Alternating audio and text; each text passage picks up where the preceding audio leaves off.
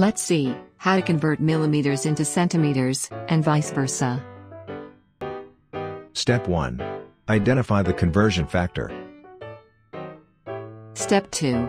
Set up the calculation, and perform dimensional analysis. Step 3.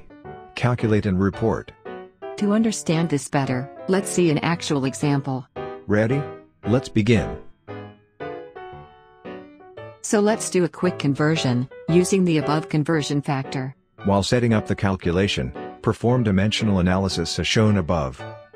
We are done. Just calculate and report the answer. Here's a quick exercise for you.